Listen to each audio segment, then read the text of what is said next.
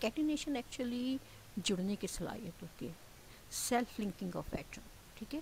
ये कार्बन की बात करें तो ये कार्बन ग्रुप फोर का है कार्बन और इसके सारी जो फर्दर है सिलिकॉन है जर्मेनियम है, इसके अंदर कैटिनेशन की एबिलिटी होती है, ठीक है?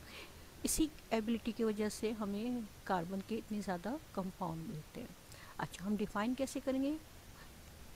इसको डिफ़ाइन करने के लिए catenation is the self linking of atoms of an element to create chain और रिंग्स चेन भी बनाएगा और रिंग भी बनाएगा.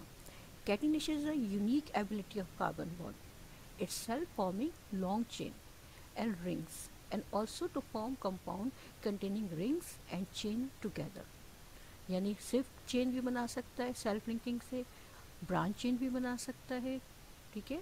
साइक्लिक चेन भी बना सकता है और रिंग और चेन टुगेदर भी बना सकता है एक साथ। This property of carbon result in enormous change of compound of carbon तो इसी वजह से कार्बन के बहुत ज़्यादा कंपाउंड हमें इस कैटिनेशन के प्रॉपर्टी की वजह से मिलते हैं। अगर हम एग्ज़ाम्पल देखना चाहें तो हमें ब्रांच चेन भी नज़र आ रहे लीनियर यानी स्ट्रेट चेंज भी नज़र आ रहे और रिंग भी नज़र आ रही। Three carbon five carbon, six carbon, इस तरह कार्बन की ये प्रॉपर्टी जो है, जिसकी वजह से हमें कार्बन के बहुत ज़्यादा कंपाउंड